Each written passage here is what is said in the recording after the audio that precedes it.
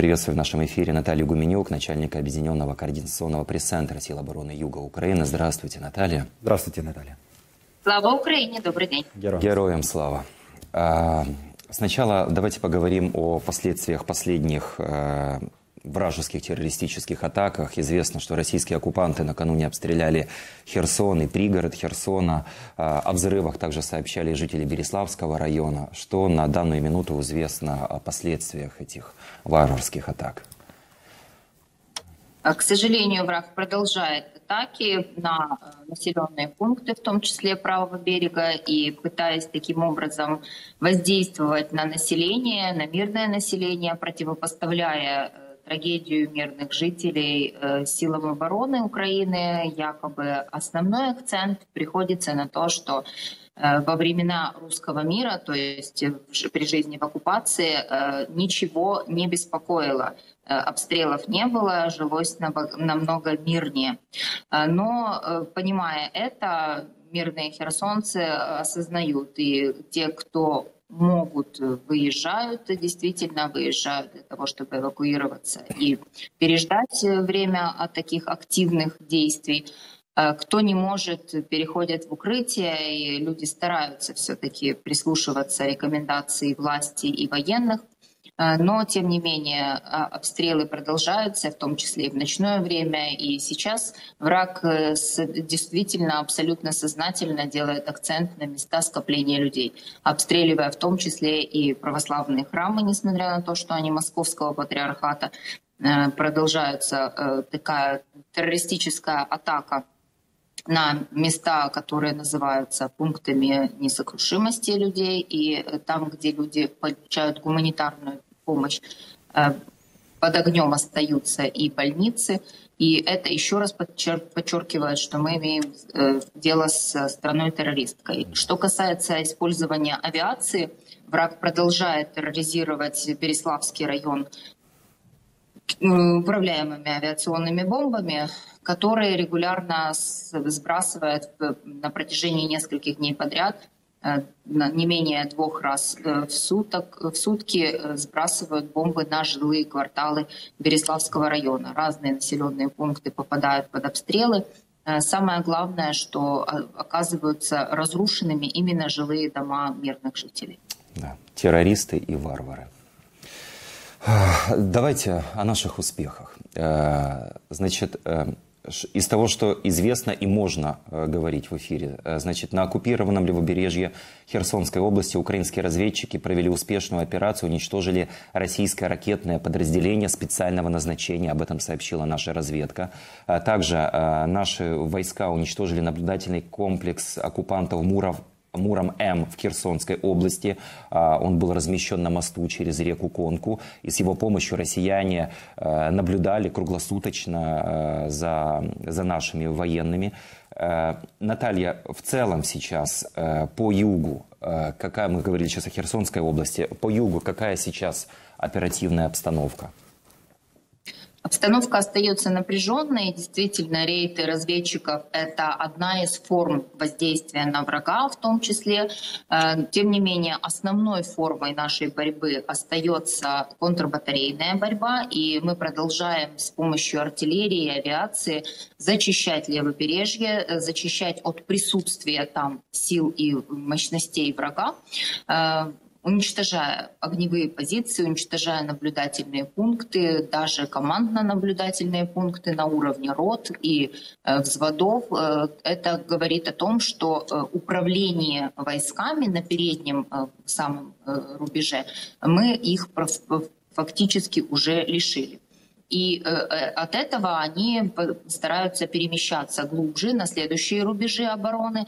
Э, мы продолжаем, обстреливая эту территорию, учитывать присутствие мирных жителей. Поэтому наша работа усложнена, потому что на левобережье, нужно понимать, э, в отличие от правого берега, еще не все населенные пункты оправились от техногенной катастрофы, которую устроили россияне, подорвав Каховскую ГЭС. И э, очень много э, территорий еще покрыто водой, Там процветает в том числе и антисанитария, и это осложняет гуманитарную ситуацию очень серьезно. Э, оккупанты не предоставляют помощи людям, а если и предоставляют, то только сугубо в обмен на российский паспорт. Насильницкая, насильная паспортизация продолжается. Они э, не только формируют э, так называемый контингент своих граждан на этих территориях. Помним про заявление высшего руководства Кремля о том, что они хотят оставить э, для себя территории, внесенные в их конституцию. Это тоже политическая манипуляция. Да-да. И Херсонщина относится... Угу да, Херсонщина как раз относится туда, где они пытаются продвигать э, мнение, что э, там очень много российских граждан уже с паспортами России. А на самом деле э, они, в принципе, формируют мобилизационный ресурс для себя, потому что очень много мужчин призывного возраста, вынужденных получать помощь таким образом в обмен на паспорт, становится мобилизованным потенциалом, э, мобилизационным потенциалом для врага. Э, то, что наша работа результативна, говорят наши сведения. За двое суток предыдущих э, уничтожено 100 оккупантов, и мы знаем об этом гарантированно, подтверждение имеем. Уничтожено 5 единиц автобронетанковой техники, две лодки, которые оккупанты использовали в диверсионно-разведывательной деятельности между островами. Они продолжают надеяться на то, что им удастся произвести там ротацию своих сил. На самом деле, с каждым появлением такого недофлота речного срабатывает наша артиллерия, и все становится понятно по схеме Москвы. Да, конечно, Наталья, об этих успехах наших войск, о которых вы говорите, о разбитии э, логистических цепочек, командных пунктов, конечно, Минобороны страны террориста не скажет, но российские военкоры жалуются и, и действительно подтверждают, что вооруженные силы Украины укрепляют, усиливают свое присутствие в районе и по линии а, Антоновского моста, а также практически уже на всех островах, э, как по левую сторону Днепра, так и напротив э, казачьих лагерей. То есть то, о чем, о чем вы сейчас говорили. А, давайте об еще одной огромной проблеме. Э, это заминирование. Э, известно, что на Мелитопольском и Бердянском направлениях э, враг минирует позиции буквально в три слоя, минирует все возможные направления движения, при этом бетонирует какие-то ключевые высоты. На Херсонском направлении что с минированием сейчас? Такая же ситуация? Несколько иная география и несколько иная тактика действия врага, соответственно. Во-первых, они еще не до конца разобрались с теми минными полями, которые намешала им э, Каховская ГЭС, то есть э, тот... Э, то есть сами же вызвали на себя свои же мины? Та трагедия, та катастрофа, которую они устроили, то полноводье э, превратило их укрепительные сооружения и минно-заградительные э, препятствие превратило в препятствие для них самих. Э, когда им предстоит возвращаться на позиции, они совершенно не знают, где может оказаться все, весь тот потенциал и арсенал, который они пытались э, уложить вдоль левого берега от среза воды, и подрываются на своих же минах. Это действительно происходит очень часто. Ну, кара небесная их находит. А, то, что дальше у них есть э, оборонительные рубежи более плотные, более основательные, которые готовились э, тоже длительное время. Мы это понимаем, и э, тактика действий нашего командования построена с учетом того, что мы знаем о их укрепительных сооружениях, но это не, снова не, скажу, не остановит движение сил обороны. Это имеет под собой определенные сложности, но у нас есть инструменты, с помощью которых мы будем их преодолевать, эти сложности. Сейчас еще не время их раскрывать, но обязательно враги это почувствуют. Да. А теперь давайте об ударе по логистике врага, о последствиях удара по а, Ченгарскому и Геническому мостам. Первый закрыт. А, движение по переправе через Генический пролив, который соединяет Арабатскую стрелку с югом Украины. Движение автобусов из Симферополя в Геническ остановлено. Как это повлияло на логистику оккупантов и что теперь, по какому маршруту теперь идет э, их перебрасывание военной техники?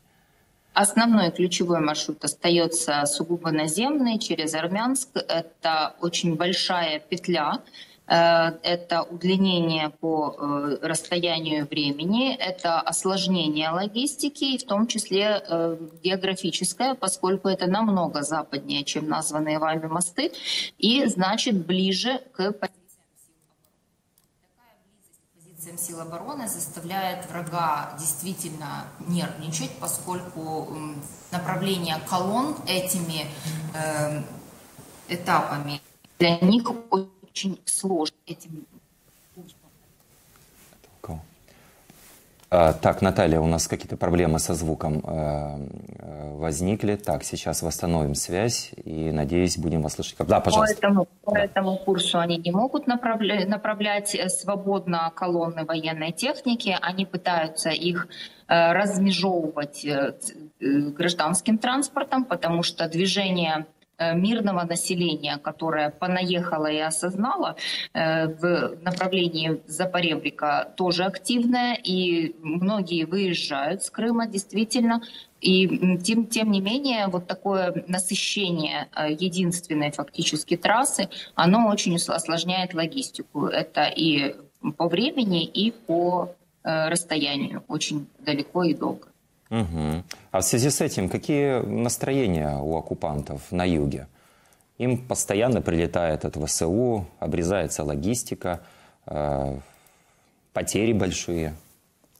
Э, да, действительно, у них э, сложности материальные переходят в сложности моральные, потому что не обеспеченные э, на элементарном уровне, они еще и вступают в конфликты между собой, потому что сейчас контингент очень серьезно смешан, силы, живая сила серьезно потрепана, извините за такой жаргон, но то, что они переживают на э, восточном направлении и потом возвращаются на реабилитацию и восстановление на южное направление непосредственно в Херсонскую область, на полигоны и места возобновления, они э, серьезно осознают э, соприкасаясь с другими подразделениями, которые там есть, и мы уже знаем по перехватам и по общению с обменным фондом, так называемым, что у них серьезный конфликт в том, что денежное обеспечение очень разное.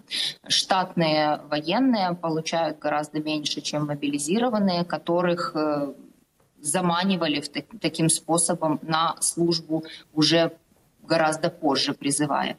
И это вызывает очень серьезный конфликт, потому что они считают, что те, кто зарабатывает больше, должны идти на более передний край. И вот эти внутренние междоусобицы с собой самими собой э, серьезно нам на руку, поскольку действительно, когда в товарищах согласия нет, на лад дело не пойдет. Угу, да. Хочу еще уточнить по поводу генического и Чангарского э, мостах. Эм, значит, один из крымских пабликов говорит, что в ПГТ Новоозерное в Крыму э, привезли 10 машин по тонна мостового парка. Э, известно, что такие автомобили предназначены для наведения э, понтонов, э, переправ через реки. Э, означает ли это, что оккупанты будут пробовать восстановить движение транспорта в районе поврежденных Чангарского и Генического мостов? Или отправят эту технику куда-то ближе к Херсону и там где-то на, на Днепр. Совершенно очевидно, что они будут пытаться возобновить движение, но при этом э, также очевидно и для них, что возобновление движения в виде понтонных переправ находится в такой же зоне уязвимости, как и сами поврежденные мосты. Уж если долетело до мостов, до понтона мы тоже достанем. И это э, принципе, останавливала их в раздумьях некоторое время, пока вот они вычисляли, что же делать, либо ремонтировать э, то, что стационарно, либо прокладывать э, понтонные мосты альтернативные. Скорее всего, по опыту предыдущих мостов, по которым мы работали, будут использоваться оба варианта, то есть э, в надежде на то, что поремонтированный Чингарский мост сможет пропускать какую-то часть техники, а параллельно будет существовать понтонная переправа, которая будет альтернативой на случай, если. Я хотел еще больше поговорить о потерях российских оккупантов. У нас, кстати, вот э, был сюжет, что э, не просто своих бросают, а еще и своих минируют. Да? И это тоже представляет огромную угрозу для, э, для разминирования, для наших саперов. Известно, что огромные потери на юге несут оккупанты, скрывают количество двухсотых, хоронят в общих могилах, в том числе на оккупированной Херсонщине. И есть информация, что в Чаплынку на территории морга с херсонского направления прибыли два грузовых автомобиля с телами российских военнослужащих, и все были там захоронены в общих могилах в двух локациях. Какой информацией вы владеете на этот счет? Это обычная практика для оккупантов. Э, на самом деле не первый регион Херсонщина, который э, это фиксирует. Э, все эти факты мы тоже фиксируем и максимально документируя передаем эту информацию в международные организации, правозащитные в том числе. И мы говорим о том, что они действительно пытаются таким образом скрывать свои реальные потери и отсутствие нравственности, отсутствие любых человеческих признаков э, гуманности у них э, действительно вот так просматривается. И для наших людей это очень странная и дикая картина, но, к сожалению, оккупанты продолжают это делать, и это не только в конкретно взятом населенном пункте, в принципе, это повсеместно. У них курсируют и Э, мобильные крематории, которые тоже призваны заметать следы и вот тех потерь, которые они несут. Да, и вот еще о потерях и как следствие э, об очень такой разнородной вражеской группировке, которая сосредоточена в частности на юге, да, о котором вы говорите. Э, значит, на Херсонском направлении российское командование отправляет военных из 126-й бригады береговой э, обороны Черноморского флота на передовую в составе отрядов «Шторм-З». Мы знаем, э, э, этот отряд состоит из заключенных, э, об этом говорит Ассоциация реинтеграции Крыма. Крымская э, бригада находится на второй, третьей линии обороны возле села Великие Капани, а Шторм-З воюет на передовой, в частности в Олежках. То есть таким образом э, командиры закрывают дыры после вот этих огромных потерь, о которых мы э, говорим, как, как могут. И кроме того, вот в этом и проявляется внутренние да споры, которые у них возникают по поводу того, что кто больше получает, тот больше должен рисковать. И именно из, исходя из этой позиции, вот они и э, размежевывают свою э, зону ответственности, передавая запасные э, эшелоны обороны. Наталья, я хочу вас спросить далее об огромном уроне нашей экосистеме, которые нанесли оккупанты. Хотя ваш ответ я уже как бы можно предвидеть, но тем не менее известно, что а, на нашем острове э, Джагарлач бушует э, огромный масштабный пожар. Огонь охватил уникальную, ценную часть острова, степной участок. Известно, что здесь сосредоточена значительная часть экосистем острова. На острове создан национальный природный парк – Э, остров сейчас находится временно под оккупацией российских захватчиков, они пытаются хоть, хоть что-нибудь сделать, предпринять какие-нибудь э, меры, чтобы потушить э, пожар и спасти экологию? Э, у нас нет достоверных данных, но э, исходя из того, что на острове расположен был э, один из мощных полигонов, на котором они готовили свои подразделения, хочется надеяться, что хотя бы ради этого они предприняли какие-то меры для тушения пожаров. Погода действительно благоприятствует тому, чтобы пожар очень быстро распространялся в степной зоне. Это, как правило, в такую жару и при такой ветреной погоде. Это очень серьезно серьезная проблема даже в мирные времена. А, в целом оккупанты никогда не переживали и не а, беспокоились о таких вещах, как пожары в национальных парках Украины. Мы знаем это по э, другим территориям, по уже деоккупированным территориям. Люди рассказывали о том, что когда э, возникали э, такие пожары, то, как правило, оккупанты не отвлекались на гашение таких э, проблем, а даже не отправляли туда специальную технику. Этим занимались мирные жители. Будем надеяться, что и в этом случае хоть и во временной оккупации, но мирные жители Херсонской области сумеют хоть немного но приостановить пожар. Да. И российская пропаганда продолжает фабриковать фейки на временно оккупированной части Херсонской области. Накануне было сообщение, что э, оккупанты якобы предупредили теракт в Новой Каховке там на одной из детских площадок нашли якобы самодельное взрывное устройство, взрывчатку обезвредили, а в попытке теракта э, традиционно обвинили, э, как они говорят, пособников киевского режима. На кого рассчитана такая примитивная имитация и все эти фейки? А, такая дезинформация рассчитана, в принципе, на местное население, которое они максимально ограничили от э, доступа до интернета, от доступа до э, любой там открытой справочной литературы и пытаются таким образом давить на людей, э, обстреливая самостоятельно это уже не первый раз такая практика. Те населенные пункты, в которых, в принципе, сами и базируются, которые оставляют выезжая демонстративно, затем обстреливают с э, имитационного направления, якобы это силы обороны, и возвращаются, рассказывают о том, что эти обстрелы произвели силы обороны, не обращая внимания на то, что там остались мирные жители. Э, также эта практика существует в, во всех населенных пунктах временно оккупированных, поскольку э, таким образом э, оккупанты пытаются обратить людей в собственную веру, так скажу, переубеждая их, что настоящие защитники это они. Но у нас есть возможность через силы сопротивления, через партизанское движение проводить разъяснительную работу – в том числе мы используем дополнительные ресурсы информационные, которые позволяют нам доносить до жителей местных э, регионов, временно оккупированных, э, истинную правду, настоящие данные про то, э, какие методы борьбы предпринимают оккупанты. Наталья, и напоследок, что в море? Вы сегодня писали, что вражеский флот там судорожно маневрирует, очень боится, видимо.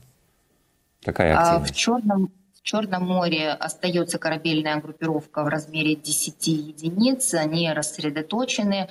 Это и боевые корабли, и суда обеспечения, и патрульные корабли пограничной службы ФСБ России, которые курсируют вдоль э, восточно восточного побережья Крыма и пытаются таким образом контролировать э, гражданское судоходство для того, чтобы суда, собранные в так называемом районе осмотра, в районе ожидания прохода Керченского пролива, э, служили живым щитом для кораблей военно-морского флота. Да, ничего нового, та же тактика прикрывается людьми. Э, спасибо э, за ваши ответы, за вашу работу. Спасибо. Наталья Губенюк была в нашем эфире, начальник Объединенного координационного пресс-центра Сил обороны Юга Украины. Вся правда о войне России против Украины. Узнавайте оперативные новости первыми в телеграм-канале Freedom. Freedom – только то, что действительно важно знать. Подписывайтесь, ссылка в описании.